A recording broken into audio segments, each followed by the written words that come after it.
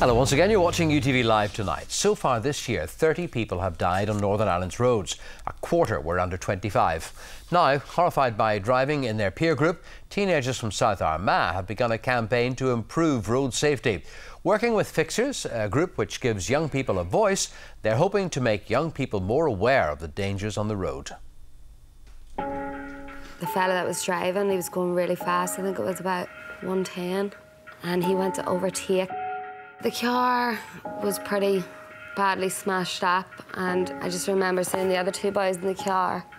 They were they weren't moving, and then I remember seeing someone else lying on the road, and I climbed out of the car. And then once I got out, I realised my leg was like back to front. It was the wrong way around. So I completely blacked out at that point. Another fella, he broke his two legs and he had internal bleeding, and the other fella, he had a head injury. In the other two cars that we hit, one person in each of the cars, they died. My name's Ryan Clarke and I'm 18 years old. I'm Roisin O'Hanlon and I'm 16 years old. We are a group of young people from Killean, South Armagh. Hearing about a rail crash and what actually happened in it was very shocking for me to know that I could have been involved in something like that there, or could still be involved in that. As uh, just an innocent person who wasn't doing anything wrong that day and just happened to be in the wrong place at the wrong time. Our Fixers project is trying to improve road safety by making drivers think before they get into their cars about the consequences it may have on other people on the road, whether that be speeding, drink driving, driving with no seatbelt on. The creative resources team at Fixers are helping us to create a billboard. It's going to be a humorous message to make it stick in people's minds and make it eye-catching. People can actually lose their lives because of careless driving. And just because you drive fast doesn't mean you're cool, like you could actually be killing someone or seriously hurting someone.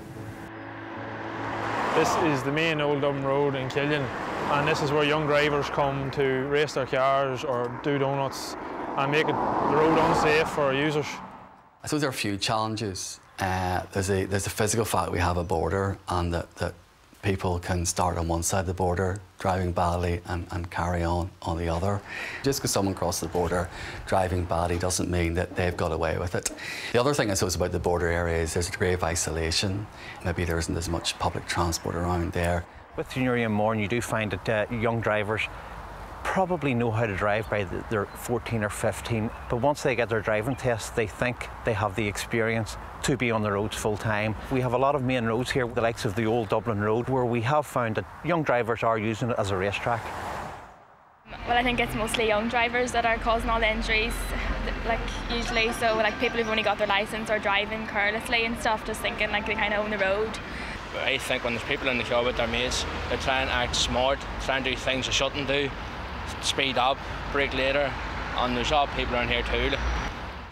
Over and above those who lose their lives, uh, we have a consistent number of young people whose lives are uh, radically changed uh, by being involved in a serious injury, road traffic collision. It's not about us persecuting young people who are in cars or persecuting driving public. It's about us making sure that a young person who gets in the car to go out for the evening, comes back home safe and their mums and dads don't have to go through the trauma of visiting them in the hospital or the trauma of a police officer knocking on the door and telling them their fantastic 18-year-old, 19-year-old son or daughter is lying in a morgue somewhere. Like other young drivers to think about what their lives would be like if they lost somebody to somebody speeding and what they would think.